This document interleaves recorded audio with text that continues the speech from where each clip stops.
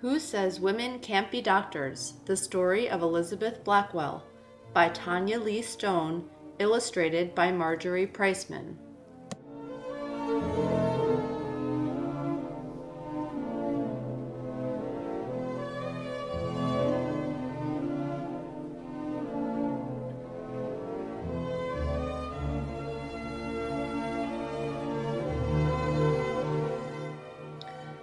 I'll bet you've met plenty of doctors in your life, and I'll bet lots of them were women. Well, you might find this hard to believe, but there once was a time when girls weren't allowed to become doctors.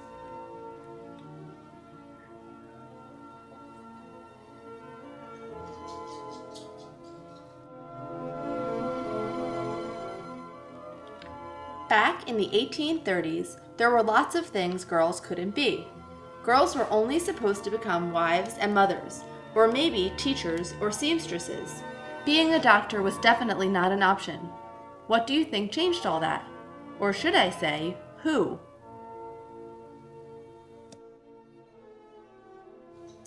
Elizabeth Blackwell, that's who. A tiny wisp of a girl who wanted to explore around every corner and who never walked away from a challenge. This was a girl who had once carried her brother over her head until he backed down from their fight.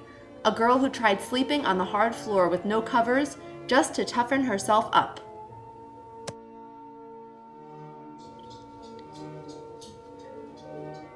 A girl who climbed up to her roof and stretched out as far as possible with a spyglass to see what was happening on the other side of town.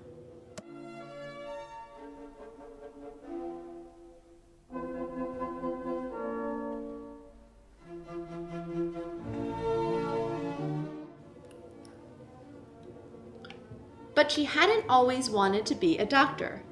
Actually, blood made her queasy. One time, her teacher used a bull's eyeball to show students how eyes work. Elizabeth was repulsed.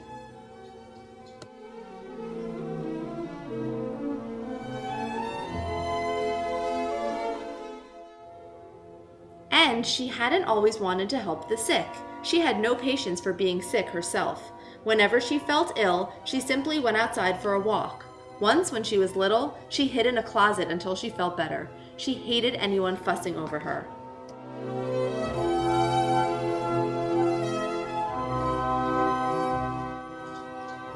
So, why did she become the first woman doctor? Because one person believed she could and told Elizabeth she was just the kind of smart, determined girl who would change the world. That person was Mary Donaldson. When Elizabeth was 24, she went to visit her friend who was very ill. Mary told Elizabeth that she would have much preferred being examined by a woman. She urged Elizabeth to consider becoming a doctor.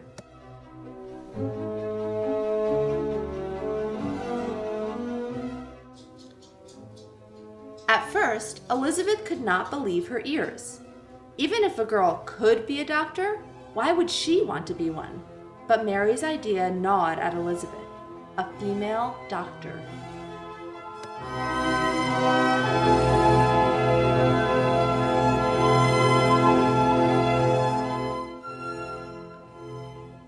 Elizabeth thought about it the second she got up in the morning.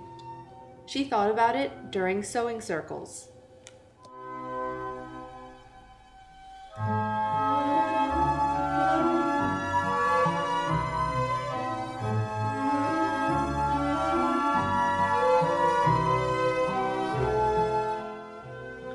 She thought about it over tea. She even dreamed about it at night.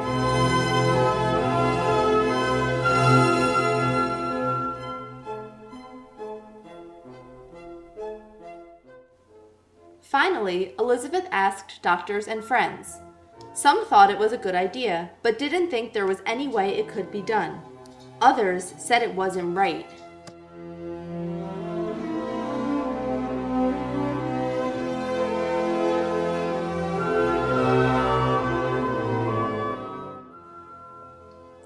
Some people actually laughed at her. They thought she was joking. Elizabeth didn't see anything funny about a woman becoming a doctor. Elizabeth thought it was a fine idea, and her family supported her. She worked as a teacher to earn money and applied to a handful of medical schools, but they all sent back the same answer no. No women allowed. She tried other schools. More letters arrived at her door. One by one, the answer was always the same 28 no's in all. In different ways, the letters all said the same thing Women cannot be doctors. Women should not be doctors. But Elizabeth didn't believe in couldn't or shouldn't. She refused to give up. She was as stubborn as a mule, quite rightly.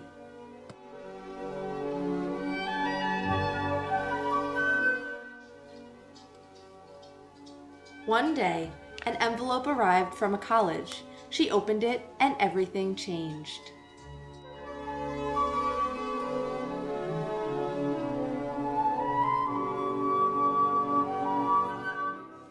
Yes, Elizabeth packed her bags for Geneva Medical School in upstate New York.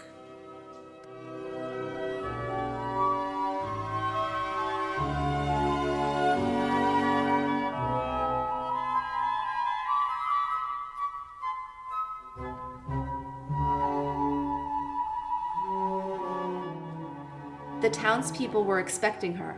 As she walked down the street, some pointed and stared. They whispered to themselves that she must be wicked or crazy.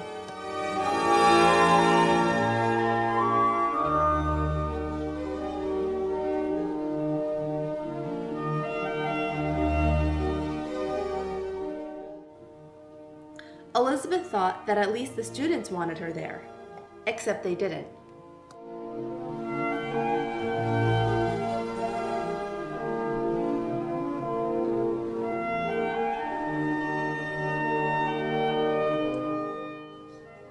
The teachers had let the students vote on whether or not to allow Elizabeth to come, and the boys, figuring the school would never really accept a girl, said yes.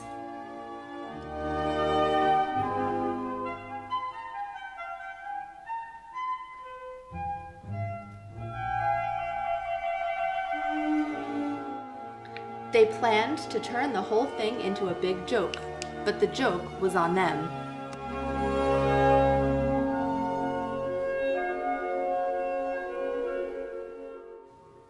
Their raucous laughter turned to silence as the ladylike Elizabeth took her seat. They wondered what kind of girl she was, the kind of girl who wouldn't take the bait.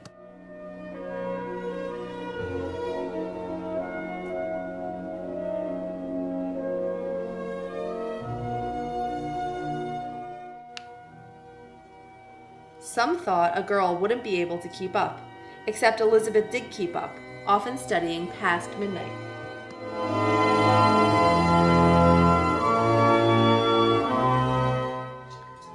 Elizabeth proved she was as smart as any boy, and soon the boys wanted to know what Elizabeth thought about this or that.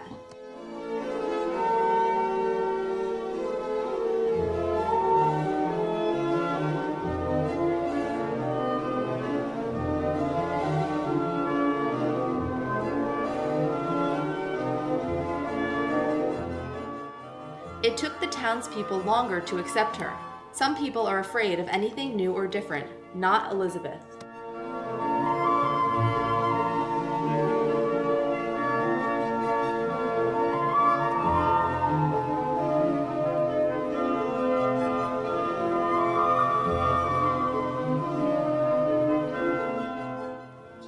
On January 23, 1849, Elizabeth graduated with the highest grades in the whole class.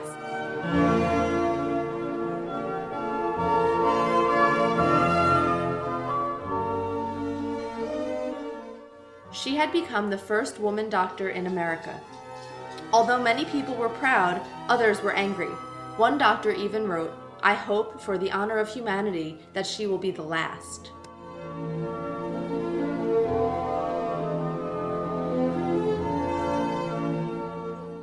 But, as you know, she certainly was not.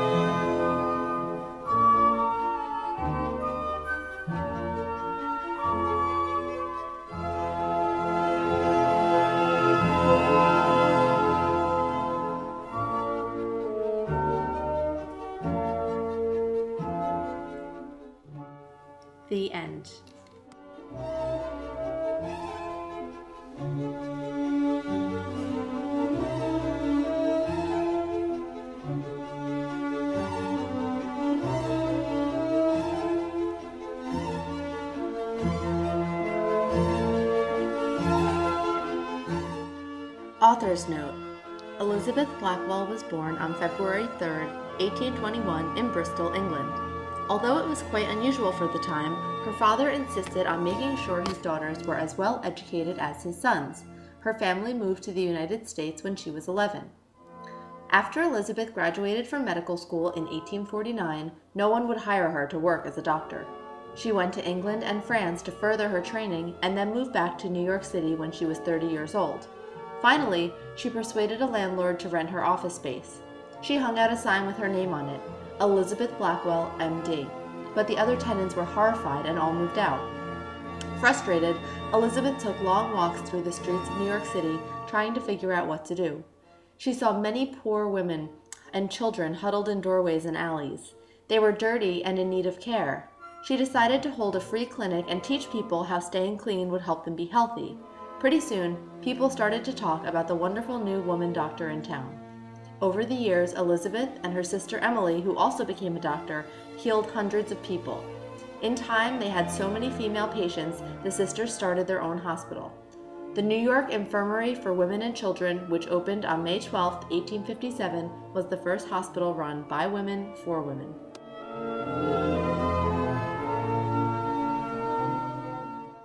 In 1868, Elizabeth opened a medical school just for women, the Women's Medical College of the New York Infirmary. The next year, she moved back to her native England and helped organize the London School of Medicine for Women.